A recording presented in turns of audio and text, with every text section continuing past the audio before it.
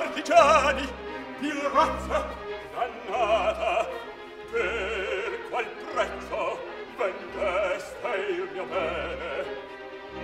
A voi nulla per loro sconviene ma mia figlia impagavi il tesor la rendete o se pur disarmata questa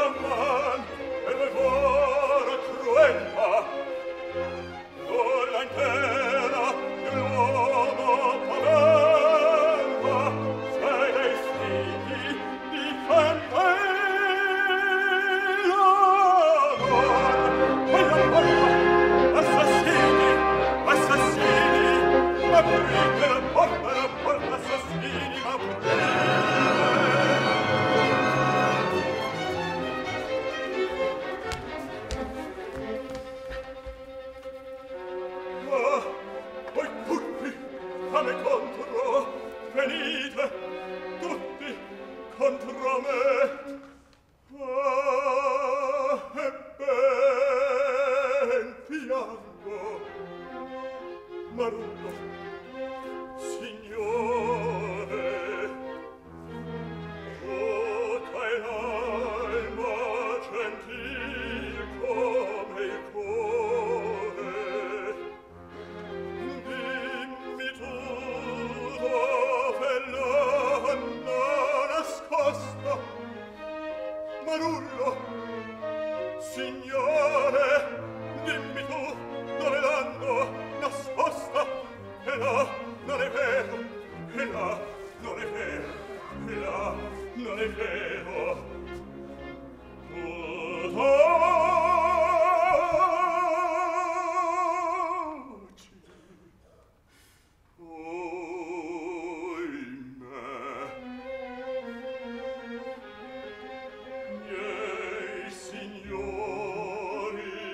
ergo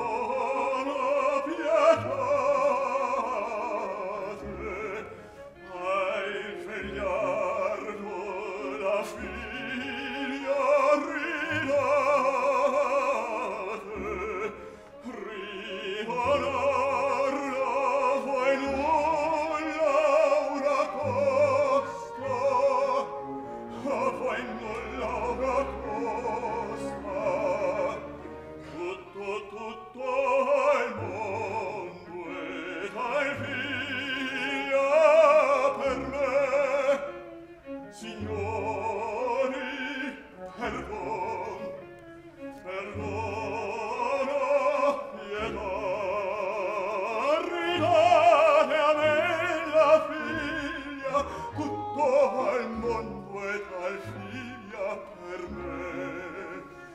Ridate a me la figlia tutto al mondo. Elle per me. Pietà pietà signore Signore.